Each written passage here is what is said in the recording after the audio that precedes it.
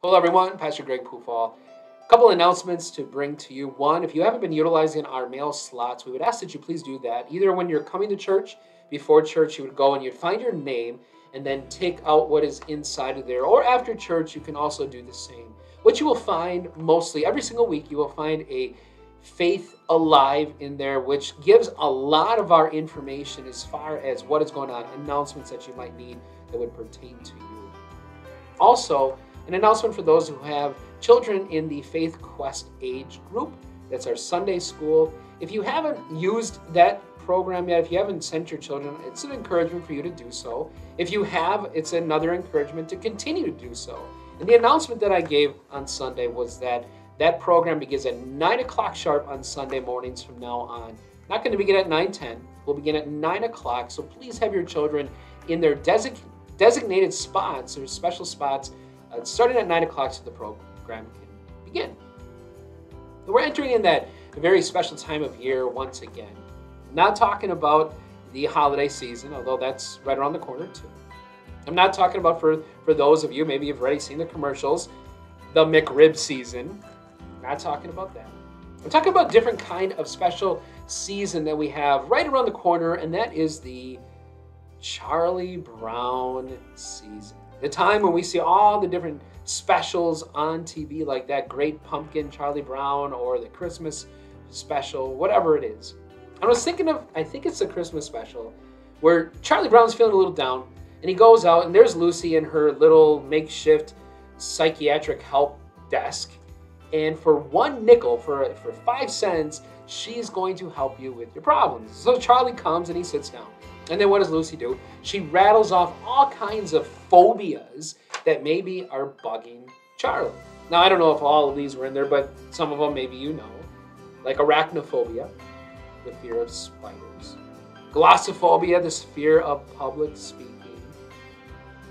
Cynophobia, the fear of dogs. Or, of course, this one that we all know so well. Hippopotomosicipidialiaphobia. Say that 10 times fast. That is the fear of long words. Now, maybe you've heard many of those before, but there's another one that I want us to think about today, and that is philophobia. You can almost hear the beginning of Philadelphia. We know that to be the brother, brotherly love, the city of brotherly love.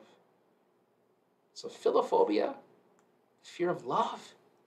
Could anybody possibly fear love? I looked it up. And sure enough, there was an article that I saw once that was entitled Seven Reasons Most People Are Afraid of Love. And after seeing some of those reasons, it started to make sense. Reasons like real love makes us feel vulnerable. I would agree with that. New love maybe stirs up past hurts. Maybe it gets you to think, well, I, I, I love this person, but maybe they're going to hurt me the same way. Real love, with real love comes real pain. Uh, you think about if if you really love someone and then they get hurt, you also get hurt. And then there was one that was interesting. It was, it was love is often unequal.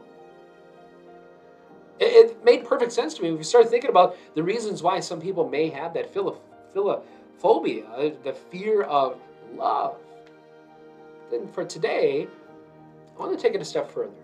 Because there is another phobia that is out there theophobia. Theo meaning God. Fear of God. And at first, it kind of makes sense, but then you put these two together, and you, you realize from 1 John chapter 4, what we hear God is love. It starts to make a little sense, doesn't it? Why would somebody fear God? Well, you read through the Bible, you see some of the amazing things, the fearful things that God did. The way that He maybe used His army to destroy the wickedness of some people, the flood, you can think of that. You can think of, of the time when, when this God destroyed two cities because there wasn't 10 righteous people found in either of those cities.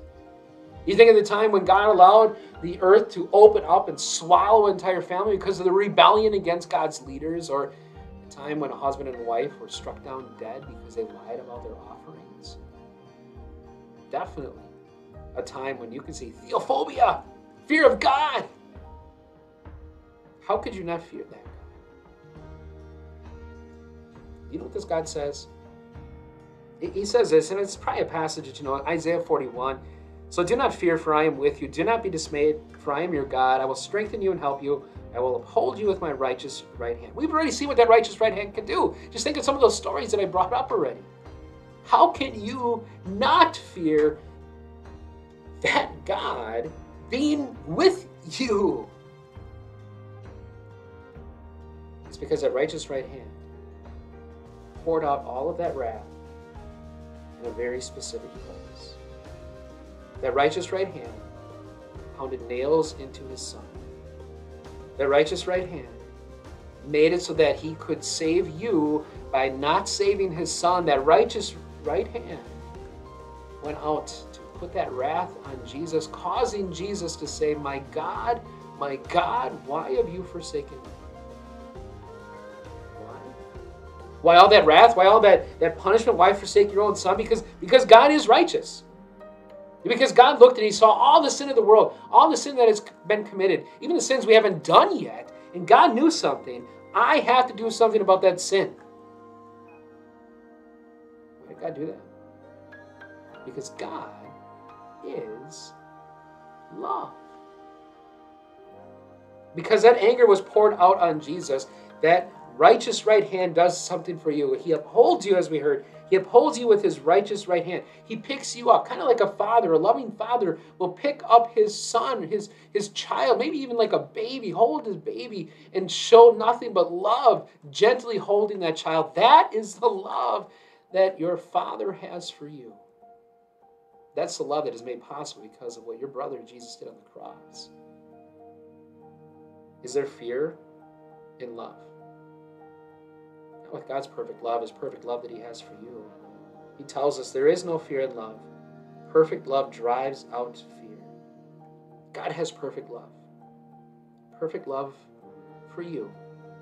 It's what caused him to do what he had to do on the cross for you so that his wrath would not be poured out on you, but instead was poured out on Jesus. Now, I mentioned earlier about that internet site that had the seven reasons why people maybe are afraid of love. And that one that I mentioned was kind of interesting that love is, is oftentimes unequal. How true is that when it comes to the love that our Father has for us? We give Him nothing, He gives us everything. And yet, yet, you know who doesn't care about that unequal love? God. All He cares about is that He loves you. May God uplift you with his righteous right hand to know that love that he has for you, that love that will never change, that love which will never leave you. God bless your day.